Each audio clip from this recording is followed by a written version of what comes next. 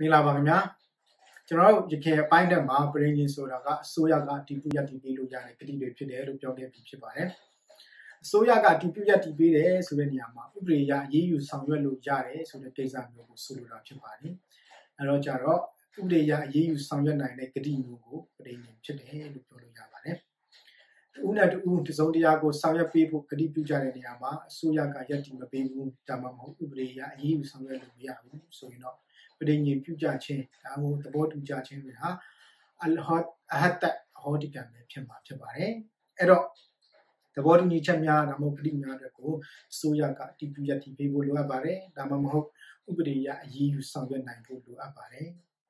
အဲ့တော့ဒီတစ်ခေါက်မှာတော့ကျွန်တော်ဒီကပိုင်းသုံးမှာတော့ဘလို့ကတိမျိုးဒါမှမဟုတ်တဘောတူညီချက်မျိုးကိုအစိုးရက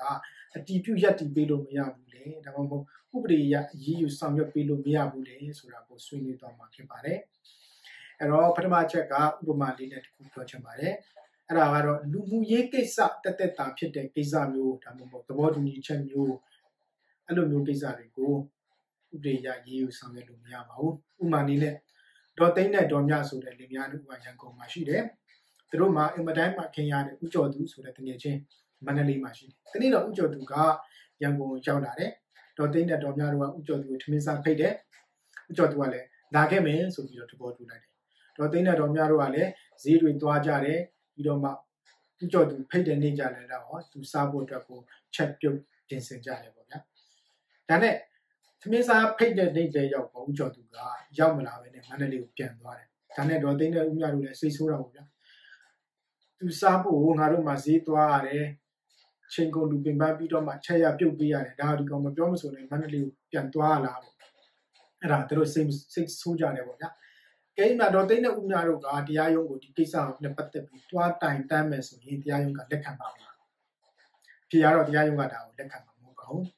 ဘာလို့လဲဆိုတော့ဒါလူမှုကြီးကိစ္စကိစ္စတက်တက်တာဖြစ်တာမို့လို့ဒီကိစ္စအတွက်တရားရုံးမှာဖြေရှင်းဆောင်ရွက်ပေးဖို့ရန်အတွက်ချိန်မရှိပါဘူး တနည်းအားဖြင့်ပြောရမယ်ဆိုရင်ဒီထမင်းစားဖိတ်တဲ့ကိစ္စမှာသူတို့က no intent to create legal intention လို့ခေါ်တဲ့ပဋိညာဉ်ကိုဥပဒေအရအရေးယူဆောင်ရွက်ဖို့ရန်အတွက်သူတို့အနေနဲ့ရည်ရွယ်ချက်မရှိတာမှန်ဖြစ်တယ်။ဒါကြောင့်မလို့လူမှုရေးကိစ္စတက်တက်အတွက်သာဖြစ်တဲ့ကိစ္စမျိုးကိုဥပဒေအရအရေးယူဆောင်ရွက်လို့မရပါဘူး။ဒုတိယချက်ကတော့ရည်ရွယ်ချက်တကယ်မရှိပါဘဲနဲ့ဆောင်ရွက်ကြတဲ့ဂတိတွေပေးကြတဲ့ဂတိတွေဒါမှမဟုတ်သဘောတူညီချက်ကြတာတွေကိုဥပဒေအရရေးယူဆောင်ရွက်ပေးလို့မရဘူး။ ဒီကိစ္စနဲ့ပတ်သက်လို့အမှုဖြစ်ရမှန်မှုရှိခဲ့ပါတယ်အဲ့ဒါတော့1863ခုနှစ်တုန်းကအမေရိကန်နိုင်ငံမှာ Keller and Hotman ဆိုတဲ့အမှုဖြစ်ခဲ့ပါတယ် Silver Wash အမှုပေါ့အဲ့ဒီအမှုမှာ Hotman ဆိုတဲ့လူပုဂ္ဂိုလ်တယောက်ရှိတယ်သူစီမှာ15ဒေါ်လာတန်တဲ့ Silver Wash ငွေနာရီရှိတယ်ဒီနေ့တော့ Hotman နဲ့ Hotman ကသူ့တငယ်ချင်း Keller နဲ့တွားတွေ့တယ်သူတို့အဲ့လိုတွေ့ဆုံကြတဲ့နေရာမှာ Keller ကပြောတယ်ဟာ Hotman ခင်ဗျား စီကနိုင်ကိုကျွန်တော်ဒေါ်လာ300နဲ့ဝယ်မယ်ဗျာဆိုပြီးတော့ချက်လက်မှတ်ပေးလိုက်အဲ့ဒါ hot hotman ဆိုတဲ့လူပုဂ္ဂိုလ်ကအချက်လက်မှတ်ယူထားလိုက်တယ်ဒါပေမဲ့သူ့နိုင်ကိုလည်းမပေးဘူးတင်တာကလည်းအဲ့ဒီနိုင်ကို hotman စီကမတောင်းခဲ့ဘူးအဲ့လိုနဲ့ပဲသူတို့ညအိမ်ပြန်သွားကြတယ်ပေါ့နှစ်အတန်လဲကြာရော hotman ကကေနာစီရောက်လာပြီးတော့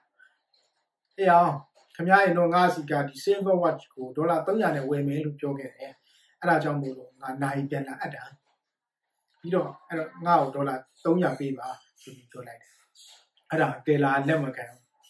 အဲ့လိုနဲ့ပဲတရားရုံးရောက်သွားတယ်အမှုဖြစ်ကြတယ်ပေါ့တရားသူကြီးကပြောတာကဒီကိစ္စကတဲ့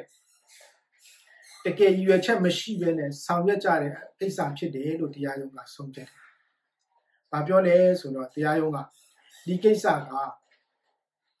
folic and banner တာဖြစ်တယ်တဲ့။ဆိုလိုတဲ့တကယ်အဓိပ္ပာယ်ကတော့တကယ်ရွယ်ချက်မရှိပါဘဲနဲ့ လောက်ကြတဲ့ကိစ္စသာဖြစ်တယ်တဲ့။ Hotman ကလည်းသူ့နိုင်ကိုတကယ်ရောင်းဖို့ရည်ရွယ်ချက်မရှိသလိုခဲလာကလည်းတကယ်ဝယ်ဖို့ရည်ရွယ်ချက်မရှိခဲ့ဘူး။အဲ့ဒီမှာသူတို့မှရည်ရွယ်ချက်ရှိခဲ့တယ်ဆိုရင်ပထမနေ့ကလေးကနိုင်ကိုလည်းယူလိုက်ကြမယ်ပိုက်ဆံလည်းပေးလိုက်ကြမယ်အဲ့လိုလုပ်ကြမှာပေါ့လေ။ဒါပေမဲ့အဲ့လိုမလုပ်ကြဘူး။အဲ့တော့တရားရုံးအနေနဲ့ဆုံးဖြတ်တာကဒီဟာနောက်နောက်ပြောင်ပြောင်ပြုလုပ်ကြတဲ့ဂတိမျိုးသဘောတူညီချက်မျိုးဖြစ်တာမလို့တရားရုံးအနေနဲ့ဒီကိစ္စကိုဖြေရှင်းပေးဘူးဆိုပြီးတော့ဆုံးဖြတ်ခဲ့ဆုံးဖြတ်ခဲ့ပါတယ် အဲ့ဒါကြောင့်မလို့မူလို့ပေးတဲ့ဂတိတွေပဲဖြစ်ဖြစ်တကယ် serious မဟုတ်ဘဲနဲ့